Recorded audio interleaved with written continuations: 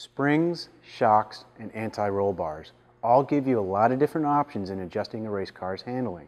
But before you start adjusting, it really helps to understand the specific function of each.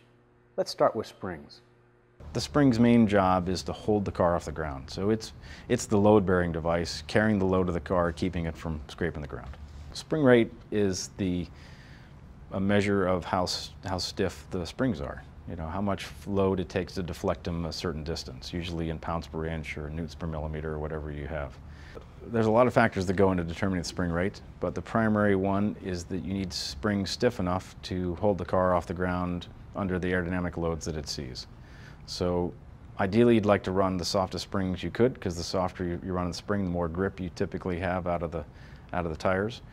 But if you run them so soft that you're buried in the ground every straightaway, then that's obviously not good enough. So you run them just stiff enough for the aerodynamic platform that you have.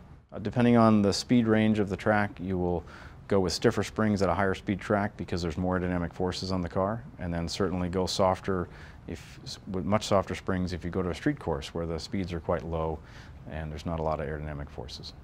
Shock absorbers, or dampers as the Brits refer to them, are another key component in adjusting a car's handling. And that's because they do a lot more than just absorb shocks. The shock absorber has several roles, but the main role is to control the release of energy that's in the spring due to the weight of the car on it. So you think the springs are holding up the car, you go over a big bump, now all that energy that's stored in the springs wants to come out and wants to come out really fast. So the damper or shock absorber's job is to control that energy release so that the car doesn't have a big response to the bump and is controlled and, and uh, well damped over the bump. If you didn't have shock absorbers, the car would literally jump off the road and be very difficult to drive. You'll see a car with uh, worn out shock absorbers and it continues to oscillate over a bump. There's a little bit of decay just due to the bushings have got some amount of damping, but that is uncontrolled motion and that means that your your ride heights are changing, the loads in the tire are changing, and all that's going to take away from grip. So shock absorbers are really important to control the mass of the car, the movement of the car, and in that way they can give you much more grip out of the whole platform. Really shock absorbers are the key to getting the last little bit of grip out of the tire. The suspension controls the tire position and the damper controls the position of the whole car and the loads into the tire. So really shock absorbers are for us, the most important piece to get the most grip out of the car. It used to be you just bolted on a set of shocks, set them, and forget them. Today's modern shocks are almost infinitely adjustable and are perhaps the key to dialing in handling. Well, the shock absorbers have a lot of adjustments in the way you build them and the way you set them up and the way you adjust them. Um, but primarily there's the bump or compression side, which is when the wheel is moving up closer to the body, and then the rebound side, or the extension of the damper when the wheel's moving away from the body.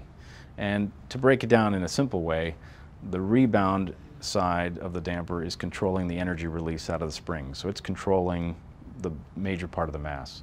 And the bump side of the shock absorber is controlling the movement of the tire and, and the movement of the tire coming up into the suspension. It's a little more complicated than that, but uh, first order we think about the rebound as controlling the mass of the car and the bump controlling the energy in the tire. But there's one other element in fine-tuning your suspension, and that's the bump rubber. Bump rubbers are an invention that allows us to run softer springs and lower ride heights without crashing into the ground. Because as you get down near the ground, the bump rubber can come in and basically add some spring rate back in right at the end of the travel before you hit the ground. They're in there to protect the, the dampers, protect the cars from crashing metal to metal if the suspension ran out of travel, but they also allow us to get a variable rate spring into the, into the system and allow us to run the ride height a little bit lower without stiffening the springs because the bump rubber will catch the car just before it crashes into the ground. Finally, there's the anti-roll bar, the main tool in adjusting the final balance of the car front to rear. Well, the anti-roll bar does just like it says. It, it goes against the roll of the car, it reduces roll. And if you can reduce the roll of the car, you can maintain the camber angles of the tires to the ground in a better range to give you more grip around the lap. So the main function of anti-roll bar is to reduce chassis roll and in turn give you more grip out of the tires. Anti-roll bars are typically torsion springs across the car and you can adjust the length of the of the arm that drives the anti-roll bar to adjust its stiffness. There's other ways, but that's the primary way. And the anti-roll bar stiffening can change the balance of the car quite quickly. In other words, if you stiffen the front anti-roll bar, you get more understeer. And if you stiffen the rear anti-roll bar, you get more oversteer. And uh, you can use the anti-roll bars as the qu quick way to tune the balance of the car. If the car's understeering, the first thing is, yeah, let's soften the front anti-roll bar. Let's try and get some grip back in the front to reduce the understeer.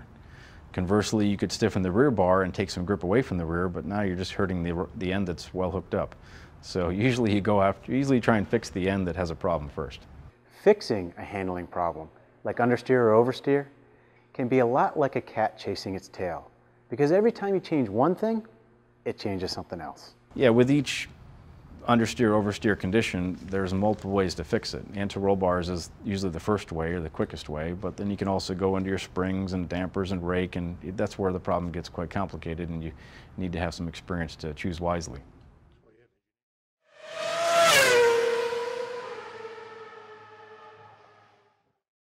There is a big difference to be being stupid and being brave, you know, and that's where you need to find out. So sometimes safe, fast, they connect both even if it's hard for us to understand or for everybody to understand, believe it. Always in the back of the driver's mind, you got to have a little reserve so that uh, you're a little safe.